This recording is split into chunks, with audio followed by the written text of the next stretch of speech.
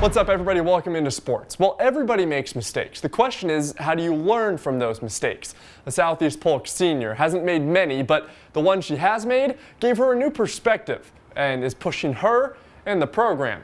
You don't always see a top athlete like this. Well, it's, it's not about her. You know, she's got uh, the, the least amount of ego out of any, you know, top tier athlete I've seen around in the last few years here. Grace Larkins is Southeast Polk's do-it-all senior. She could run the four, the 400 hurdles, the 4x4, the sprint medley, the 4x2, the 4x8. Honestly, she could probably run an open eight. Did you get all that?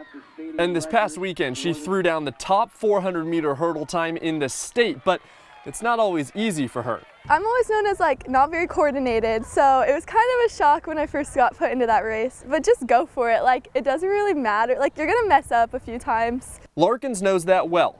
Two years ago, as a sophomore at state, she messed up. And she came across the last hurdle and she was actually just about, uh, she was dead even with the leader, if not in the lead. And about 20 meters left, uh, she uh, caught a caught a spike on the track and uh, went down, unfortunately. But it's that mess up that pushes her. There were some tears shed.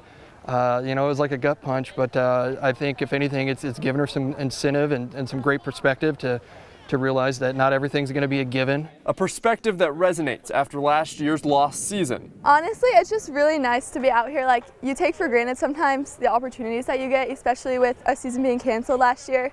So it's just like we might not have even had a season this year, so we're lucky to be here. And by the looks of things, though Larkins would probably be the last one to tell you this, the Rams are lucky to have her. Her character's been phenomenal. I mean, she's just she's a great leader. You know, yes, she's a great athlete, but she's she's just such a great leader, great kid to have around the rest of the team. A team that's still trying to figure out what events they'll need her to run come May. But whatever those end up being, Larkins will be ready with perspective gained from past mess ups. Larkins said the 400 hurdles is her favorite event until I saw her after she ran the hurdles on Saturday. She looked up at me and said, no, I take that all back. All right, that's good it all for sports, everybody. Thanks for joining me. I'll see you next time.